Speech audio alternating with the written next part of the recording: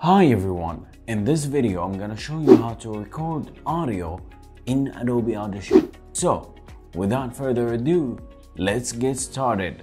So guys, I'm gonna show you the recording ways in Adobe Audition. First of all, Audition is a great software that you can record on whether you're recording voiceovers, music, or any other projects that requires you to get audio into Audition from a live source.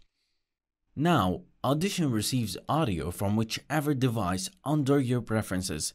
A quick review go to Edit, Preferences, Audio Hardware. And this is where you choose your device class and then your default input and output devices. So maybe you have a USB microphone or a line in. For me, I'm gonna stick with my built-in line input which I'm currently speaking to a microphone that is connected to a mixer. So whatever the case for you, just make sure to select the device you want to record on from the default inputs. So just click OK to close preferences. And the actual recording part is pretty simple. I can either go to File, New Audio File to create a single track, or I can go to uh, the recording button down here at the bottom and I just click on it and it will do the same thing. And it's going to prompt me to give my recording a name. So let's name this recording test. And I'm gonna leave the rest of the settings in their defaults the sample rate the channels the bit depth uh, and we will be talking about them in another video on terminology. So let's just click OK. And now it's actually recording as I'm speaking. Guys, you should know that the recording phase of audio is the most important. Uh, and all the professionals say that if you have a good recorded audio, you can make it better. But if you have a bad recorded audio, you can make it worse.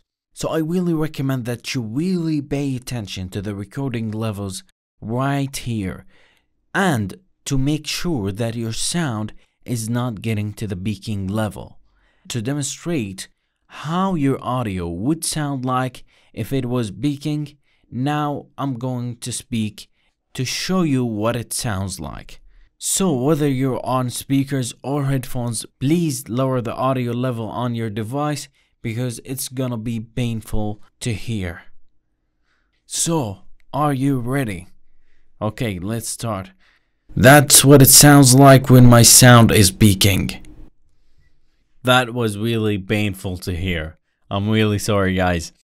But I had to show you how bad it sounds if you got an audio that is peaking.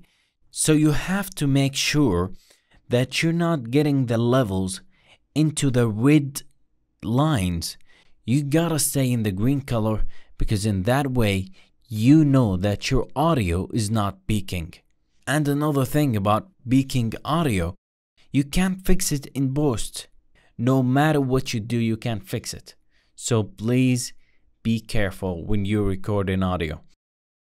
So that is pretty much how you can record audio in Adobe Audition. I hope this video was helpful for you and I would really appreciate if you could smash that like button for me and I will see you in the next video.